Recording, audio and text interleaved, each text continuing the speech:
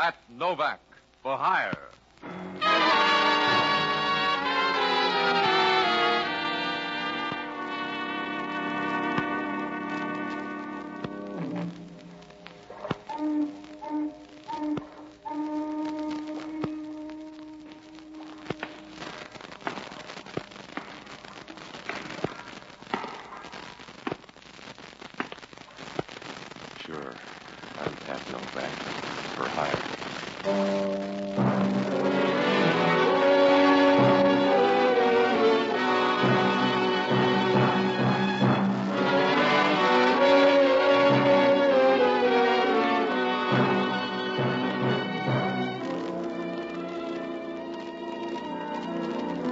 The sign out in front of my office says. Pat Novak for hire. It's an easy way to put it, because if you're going to make a living down on the waterfront in San Francisco, you got to do everything but run for office. I rent boats and kick around a few scruples if the price is right. It's a living. and If anything goes wrong, you can always get your mother a visitor's pass. If you do get in trouble, you go first class all the way. I found that out when I first met Doreen Wild. It was almost dark, and I was sitting in the office with the door open when she first showed up. Showed up's the right word. The wind was blowing outside and pushed her dress tightly against her legs as she walked in. She was young. From what I could see, she made Cleopatra look like Apple Mary. She had a voice like a bowl of warm stew. Hello. Are you Mr. Novak? That's my story. I'm Doreen Wild. Mind if I sit down? On your desk here? You'll block the view. You'll get used to the new one. There. Now lean back and let me look at you. Hmm.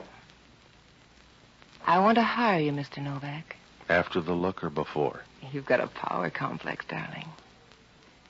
You know a man named Joe Candono? Oh, he's a gambler out on Geary Street. Friend of yours? I don't dislike him that much. We have business connections. That's why I want to hire you. To give him some money tonight. A needy case or a bad debt? A bad debt.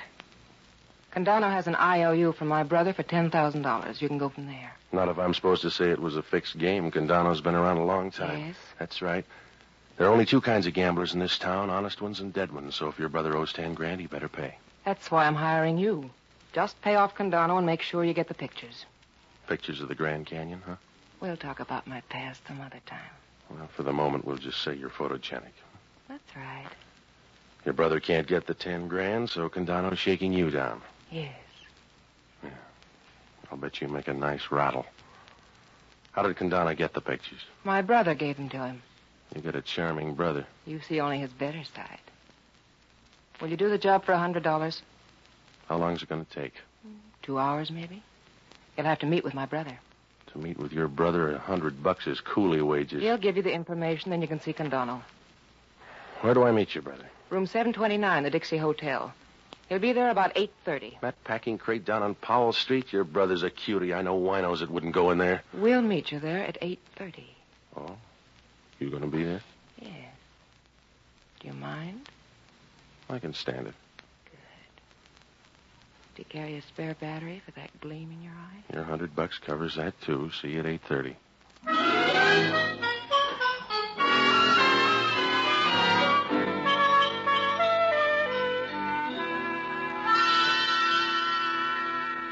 She smiled at me, and I felt like a guy that just found an oil well in the basement. Well, there were a lot of things about the deal I didn't like, but she kind of made you forget. I kept remembering her as she walked out of there with a slow, easy gait. She had knee action that'd make a Nash jealous. Well, I hit the Dixie Hotel about 8.25. It was the kind of a hotel that has a 4 a.m. checkout rule. There were two or three guys sitting around reading tip sheets, and over in the corner, a couple of well-upholstered gals were talking about recipes, I guess. The desk clerk was the worst of the lot. He looked like a guy that might have been expelled from Alcatraz. Nobody looked up as I walked through. When I got to 729, I knocked. There was no answer, so I opened the door and walked in. There was a bed lamp on and a lot of smoke in the room. Through the smoke, I could pick out the committee. They were crazy about me. Come on in. Looking for someone? Yeah, yeah, but she's got a better figure than you. Close the door. No, she's not here. I'll just run along. Close the door, mister. You need the ventilation. I said close the door. Now sit down. Sit down on the bed there. You're a tough host. So I'm broken-hearted. Just be a good boy now and give it to me. Huh? You got the wrong guy. You give it to me fast, mister. I don't know what you're talking about. I came up here to meet somebody. Already met him. I've run across better people in sewers. Now, look, meathead, I'm only going to say this once more, so make a copy. You got the wrong guy. You think I got something? I haven't got it. No? No, so you and your playmates swing out of here in your tails. I never saw you until three minutes ago, and I'm tired of the friendship already. All right. Eddie, Yeah? go through this guy's coat. Yeah, sure. Now, wash your hands, Junior, and then put them in your own pockets. Oh. Uh, you, uh, you got a favorite profile, fella? Hmm? Because I'm going to put this gun on one side. Take your choice. Grab him, hold him up.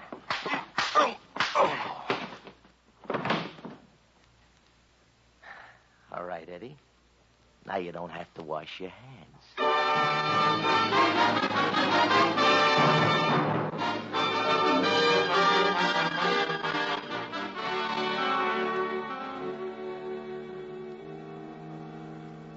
I woke up with a head the size of Rhode Island. I rolled over and tried to get up, but I was about as strong as a moth in a wind tunnel. The room was dark, and I couldn't see very well. It was a stale, musty odor. Could have been a marathon dancer's dressing room. With a little fixing up, the sort of place you wouldn't be found dead in. There was a guy lying next to me who didn't feel that way about it. One look at the guy, and I could see he was dead from the crew cut down. Somebody wrapped a towel around his throat and forgot to say when. I should have got out of there right then, but I used my brain like a bottle of medicine, a small dose every three hours.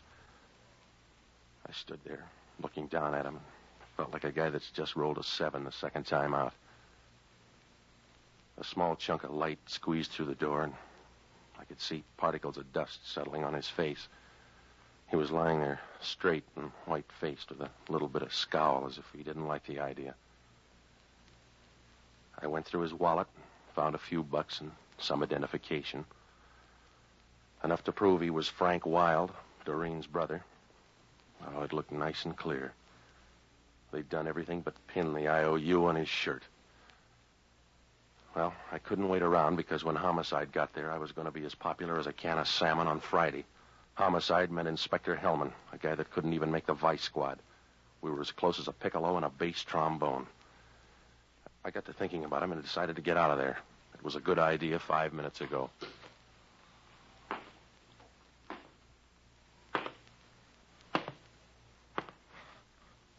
Hello, Novak. Oh, Hellman. Small wake, huh? Just a few close friends.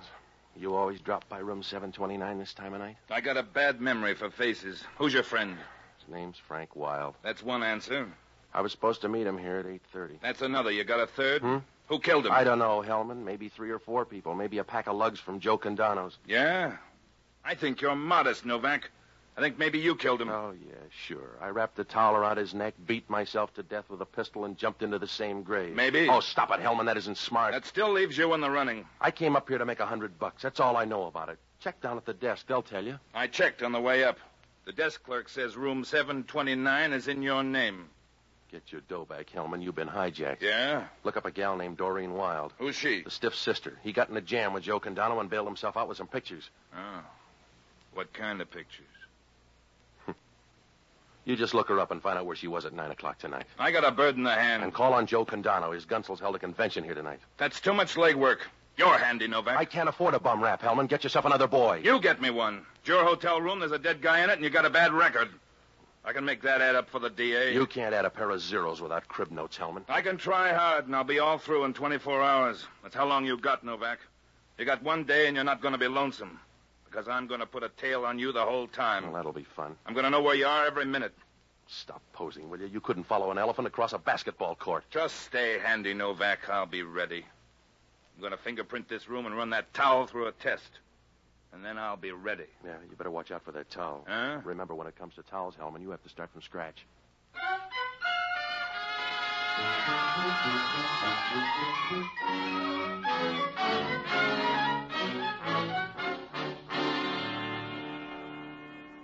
Well, when I left, Hellman was smiling like an Academy Award winner. I didn't blame him, because from my side of the road, things looked rough. From here in, he could play a pat hand and come out all right. There were only two other people Joe Candono and that girl. I was real worried, so I looked up the only honest guy I know an ex doctor and a boozer by the name of Jocko Madigan. Well, he was all right for a guy who tries to drink all the whiskey in the world every night, only some night he's going to make it.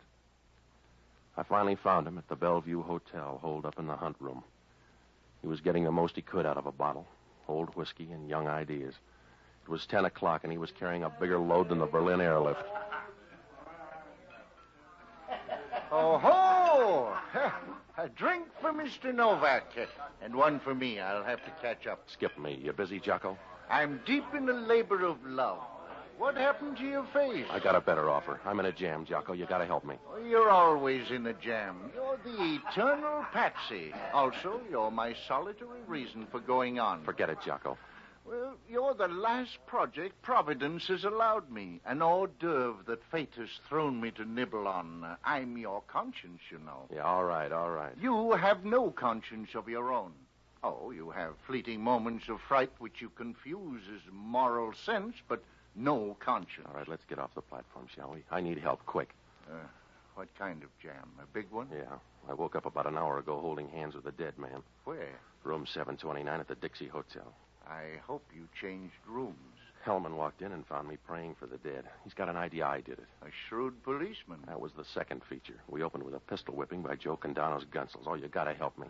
Would uh, a drink help? Hellman's got a guy tailing me. I gotta go slow, Jocko.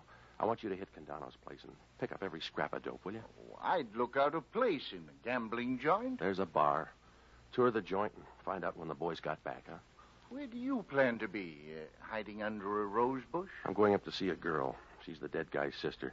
Are you going up to extend sympathy? Uh, she's mixed up, too. Candono's holding some blackmail pictures. Let's reverse the assignment. Now, look, you see Candono. I'll tag by Doreen Wild's place. Huh? She must be Harry Wild's daughter. Who's he? The money crowd, to use a low term. What's he like? A retired octopus. After he got sick of chasing cigarette girls, he settled down to be a social worker. Yeah? Now he's like all social workers. A guy who's embarrassed because he wasn't born poor. And for years he's been annoying the poor by trying to help them. Hit Candono's place. Now, if you hit anything good, phone me at her apartment. And keep out of trouble. I'd say the same to you if it weren't futile. Good night, lover.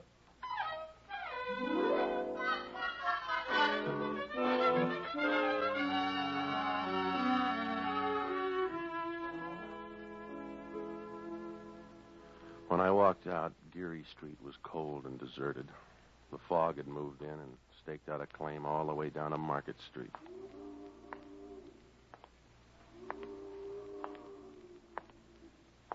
There were two Marines across the street arguing, so I didn't hear it at first.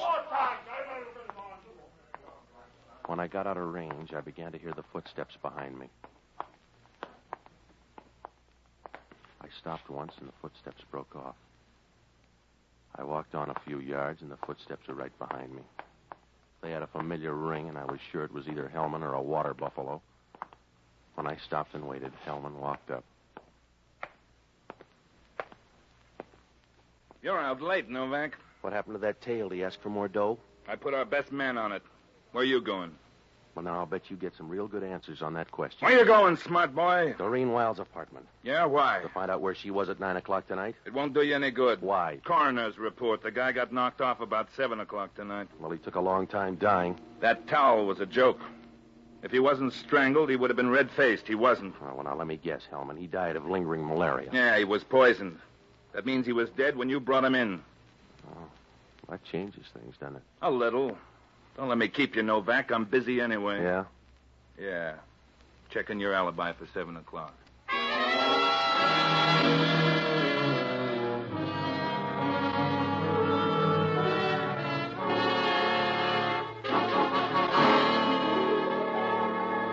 I had no alibi for 7 o'clock. That was right after the girl left my office. Oh, I might be able to dig up a witness, but I wasn't sure. It's like asking a horse if he's going to win the Derby. Well, the questions were piling up, so I dropped by Doreen Wild's apartment. I began to wonder. It was right next door to Candono's place. When she opened the door, I found out what the right kind of breakfast food will do. She was wearing a slack suit without much slack, and she was swaying slightly in a warm, slow way. Well, if there was any rhythm there, it's the kind you hear a thousand miles down the Amazon. And when she said hello, you knew it was all chemistry. Hello, Mr. Novak. I missed you at room 729. This'll do just as well. Come in. Yeah. Hmm. You're wearing your face a different style. Yeah, Candono's boys didn't like it the old way. I like it. I like it very much. Yeah, what happened to you tonight? Frank was supposed to pick me up. He didn't come by. I see. Your brother finally showed up at the hotel. Oh, yes? Yeah. He paid off that IOU, Is that a quaint way of telling me he's dead? I suppose. Oh, don't sob so loud. You'll wake the neighbors. You know by this time that to me Frank was a poor excuse at best. Nothing more. Besides, I knew he was dead. Father's down there now identifying the body. Just for the record, who has those pictures now? Candono, I suppose. His boys piled me tonight looking for something. I got the idea it wasn't my social security number. Oh, you've had a busy evening. Yeah, they're going to book me for Frank's murder. Just call me Patsy. You need a drink then, darling. It can wait.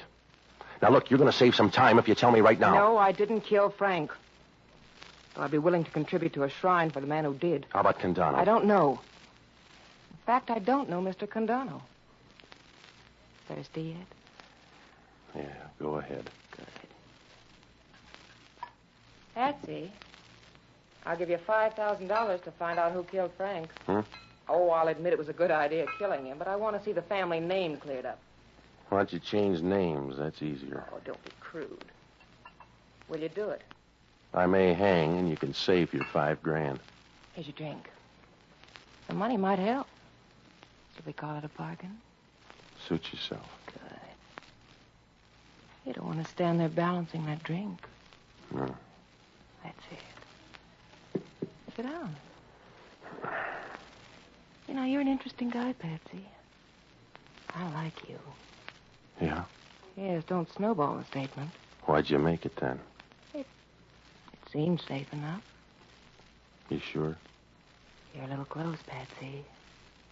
Are you sure? At this point, I don't care. Come here, baby. Patsy, What's on your mind? where I can buy a desert island cheap. Looks like you got an offer. Father, he'd forgotten his key. Excuse me. Come on over, Father. I want you to meet Mr. Novak.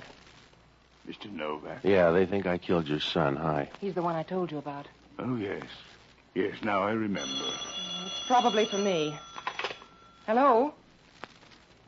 Oh, oh, yes. I think so. I'll, I'll be right there. I've got to run, darlings. Only be gone a while. Father, keep Mr. Novak sober, hmm? I'll pick up from there. Good night, Father. See you soon, Patsy. A remarkable girl. She's active, too. Does she always sail out for a night camp? A remarkable girl. More so than Frank? I, I'm afraid so. You seem to like him better dead. Well, at least he's more harmless that way. Perhaps that sounds unbecoming of a father. Well, if he looks better that way, suit yourself. Uh, I've never made any attempt to camouflage my feelings. I'm fond of my daughter. And my son, I've loathed. In a casual way. He's a mishap of nature which for years I've been content to blame on his mother. This matter of the gambling debt is a case in point. You know about that? Oh, yes. Plus Doreen's liberal contribution to the problem. By the way, Mr. Novak, who did kill him? I thought maybe you did. No. I'm not a doer. I just cheer from the grandstand. Uh, excuse me. Hello? Hmm. It's for you, Mr. Novak. Yeah. Hello. Hello, Patsy. I'm down at Candono. I know that. What'd you find out? Never played two and eight on a roulette wheel. All right, drop the clowning. Well, I found out about your friend. Yeah? They came in about 10 o'clock, so that puts them right in line. No, not anymore. The guy got knocked off at 7 o'clock. Oh, impatient, wasn't he? In that case, you better start looking for a tie-up between the girl and Candono. Not a chance. No? She doesn't even know Candono. She makes friends very quickly then because she just walked into his office.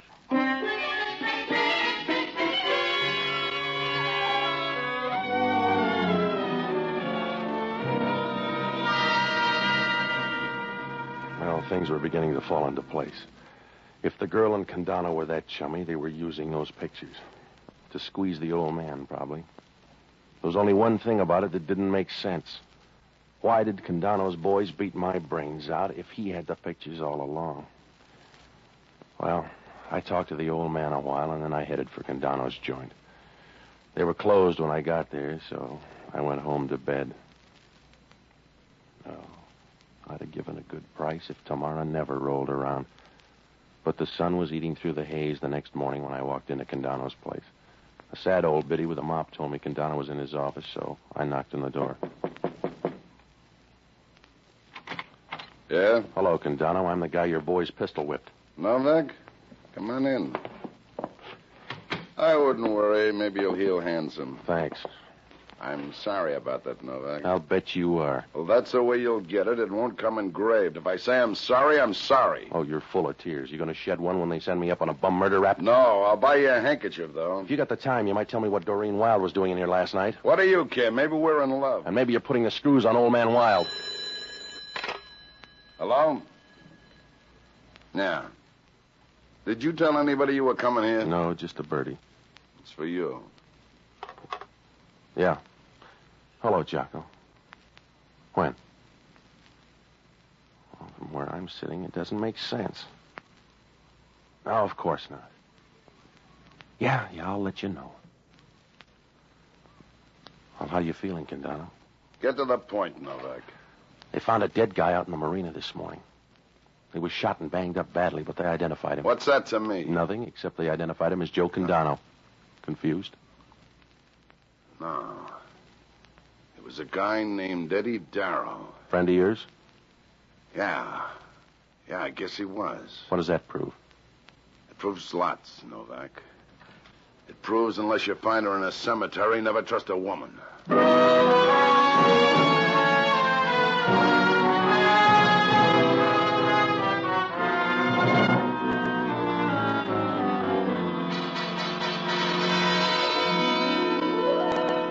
Good assist, deep, deep, deep short, we could, could make it now. I knew that. Candono was mad about something, and the lid was going to blow. I called Hellman. His little lid was gone ten minutes ago. He had the murder gun, and it belonged to old man Wild. A messenger walked in and put it on the sergeant's desk a few hours ago with no explanation. Oh, that was, was the clincher. From here on in, it was cakes and ale. I told Hellman what I knew. He picked me up at Dury and Taylor, and we headed for, for the Wild apartment. The girl and the old man were in the living room when we walked in. Everybody had breakfast? Patsy, I didn't know you came out till after dark. Well, we just wanted to call your, your old man. Wild, oh, this is Inspector Hellman. Oh. Is there anything I can do? You're ambitious, Wild. Hellman's here to arrest you for murder. I'm amused, but not frightened. They might have gone easy on you for killing your son, but not Eddie Darrow. And who is Eddie Darrow? The guy you thought was Candono when you killed him last night. Your daughter was helping him put on that squeeze. She even sent in your gun this morning. Please, Doreen, tell these men. Well, the starting backfield. Hello, Candono. Step aside, Novak. You don't need that gun, Joe. Not for long. All right. Push the girl out there. Push the girl out there. For a gambler, these are bad odds, Joe. Just keep talking. Just keep talking loud. And when you stop, all of a sudden, you'll know I'm through with You made the first switch, Joe. I didn't trust you, so I sent Eddie Darrow up. He was a good guy, and I liked I him. didn't kill him, Joe. You made it easy, though. Say 'em fast, baby. Here it comes. Look out, Doreen! Watch the old man. Uh, give me that gun. Yeah. We keep shooting the wrong people around here. I'm sorry, Hellman. I bungled, huh? Yeah. Yeah, you bungled, Joe. How's the old guy, Novak? He should live so long, Hellman. He's dead. You're gonna need me soon, huh, Hellman? Yeah, right now. Come on, Joe. Tag by headquarters, Novak. Sure. Well, it was fun while it lasted. Yeah. I'm sorry he jumped in front of me. He didn't have to do it. No, but you expected it. I suppose. I'm made to expect things, Patsy. Uh-huh. And you're not going to mind this. I expected that, too. You can slap me, but don't leave me, Patsy. I don't want to be alone. You got a cigarette? They're on the table. I see. A match, Patsy? You go build your own fire. I'm leaving. Please, Patsy, I don't want to be alone. You won't. I'll send you a whistle. Goodbye.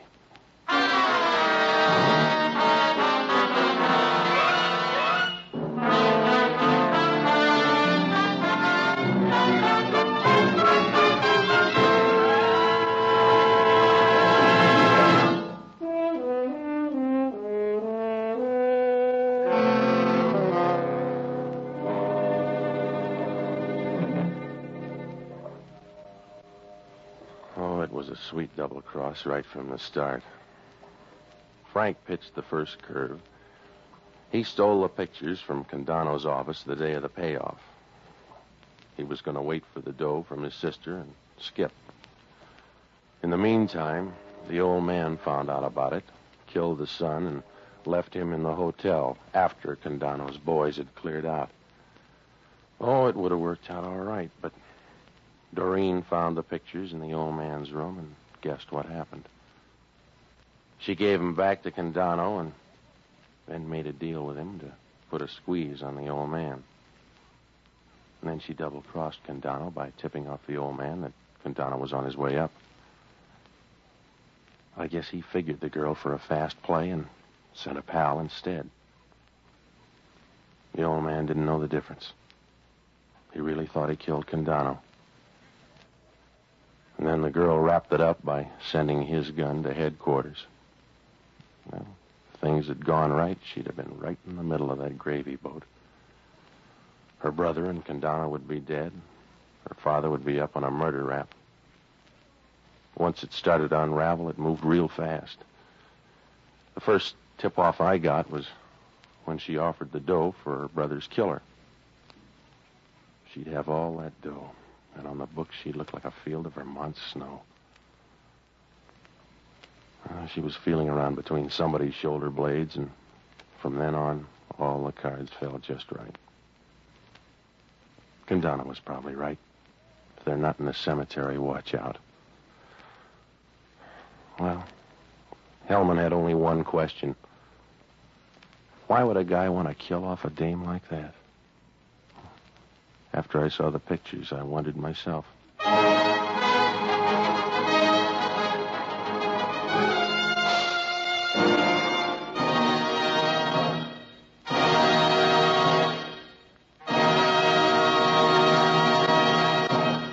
The Armed Forces Radio Service has just brought you Pat Novak for Hire, starring Jack Webb.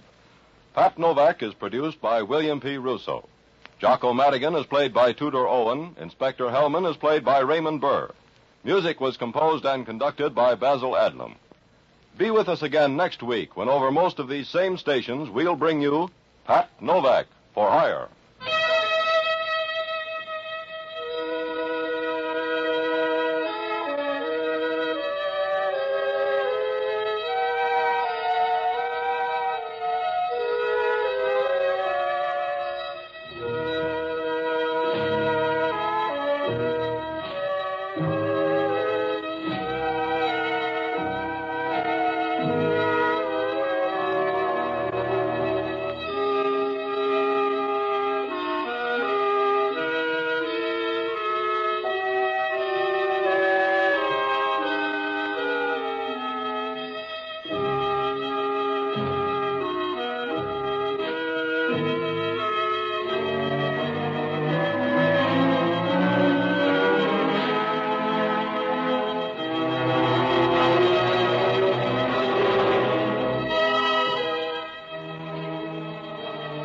Novak for Hire was previously released by ABC, the American Broadcasting Company, for listeners in the United States, and rebroadcast for our men and women overseas. This is the United States Armed Forces Radio Service, the voice of information and education.